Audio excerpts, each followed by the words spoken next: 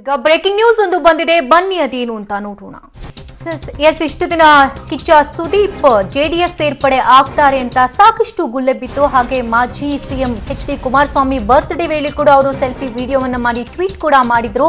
ನಂತರ ಬಿಜೆಪಿ ನಂತರ ಜೆಡಿಎಸ್ಗೆ ಸ್ಟಾರ್ ಕ್ಯಾಂಪೇನರ್ ಆಗಿ ಜನರಲ್ಲಿ ತಿಳುವಳಿಕೆ ಮೂಡಿಸುವಂತಹ ಕೆಲಸವನ್ನ ಮಾಡ್ತಾರೆ ಅಂತ ಹೇಳಲಾಗ್ತಾ ಇತ್ತು. ಆದ್ರೆ ಈಗ ಕುಮಾರಸ್ವಾಮಿ ಸ್ಪಷ್ಟಪಡಿಸಿದ್ದಾರೆ. ನಾವು ಸೌಹಾರ್ದಯುತ ಭೇಟಿ ಅಷ್ಟೇ ಮಾಡಿದ್ದೇವೆ. ನಟ ಕಿಚ್ಚ ಸುದೀಪ್ ಜೊತೆಗಿನ ಭೇಟಿ ಸೌಹಾರ್ದಯುತ ಅಷ್ಟೇ ಅಂತ ಸ್ಪಷ್ಟಪಡಿಸಿದ್ದಾರೆ. ಜನರಲ್ಲಿ ತಿಳುವಳಿಕೆ ಮೂಡಿಸುವಂತೆ ಮನವಿ ಮಾಡಿದ್ದೇನೆ ಅಷ್ಟೇ. ಬೇರೆ ಯಾವುದೇ ಉದ್ದೇಶದಿಂದ ನಾವು ಭೇಟಿ ಮಾಡಿಲ್ಲ.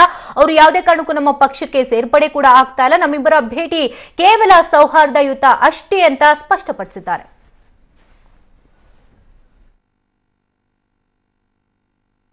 ಅವರು ಒಬ್ಬ ಚಿತ್ರನಟರಿದ್ದಾರೆ ಚಿತ್ರರಂಗದಲ್ಲಿ ಇನ್ನೂ ಹಲವಾರು ರೀತಿಯ ಸಾಧನೆಗಳನ್ನು ಮಾಡಬೇಕು ಅಂತಕ್ಕಂಥ ಒಂದು ಭಾವನೆಗಳನ್ನು ಇಟ್ಕೊಂಡಿರ್ತಕ್ಕಂಥ ಒಬ್ಬ ವ್ಯಕ್ತಿ.